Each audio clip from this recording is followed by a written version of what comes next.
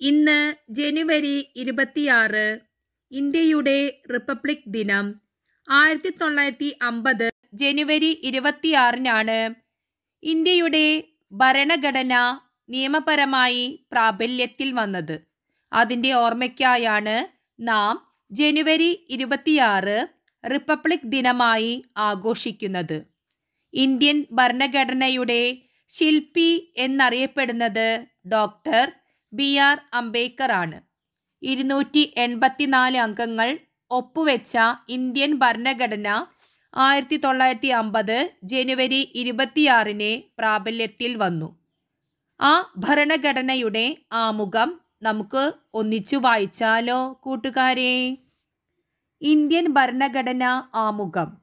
നമ്മൾ ഇന്ത്യയിലെ ജനങ്ങൾ ഇന്ത്യയെ ഒരു പരമാധികാര സ്ഥിതി സമത്വ മതനിരപേക്ഷ ജനാധിപത്യ റിപ്പബ്ലിക്കായി സംവിധാനം ചെയ്യുന്നതിനും ഇന്ത്യയിലെ എല്ലാ പൗരന്മാർക്കും സാമൂഹികവും സാമ്പത്തികവും രാഷ്ട്രീയവുമായ നീതി ചിന്ത ആശയ ആവിഷ്കാരം വിശ്വാസം ഭക്തി ആരാധന എന്നിവയ്ക്കുള്ള സ്വാതന്ത്ര്യം സ്ഥാനമാനങ്ങൾ അവസരങ്ങൾ എന്നിവയിലുള്ള സമത്വം എന്നിവ ഉറപ്പുവരുത്തുന്നതിനും വ്യക്തിയുടെ അന്തസ്സും രാഷ്ട്രത്തിന്റെ ഐക്യവും അഖണ്ഡതയും ഉറപ്പുവരുത്തുന്ന സാഹോദര്യം എല്ലാവരിലും വളർത്തുന്നതിനും ദൃഢനിശ്ചയം ചെയ്തുകൊണ്ട് നമ്മുടെ ഭരണഘടനാ സഭയിൽ വെച്ച് ആയിരത്തി തൊള്ളായിരത്തി നാൽപ്പത്തൊമ്പത് നവംബറിന്റെ ഈ ഇരുപത്തിയാറാം ദിവസം ഈ ഭരണഘടനയെ അംഗീകരിക്കുകയും നിയമമാക്കുകയും നമുക്കായി തന്നെ സമർപ്പിക്കുകയും ചെയ്യുന്നു.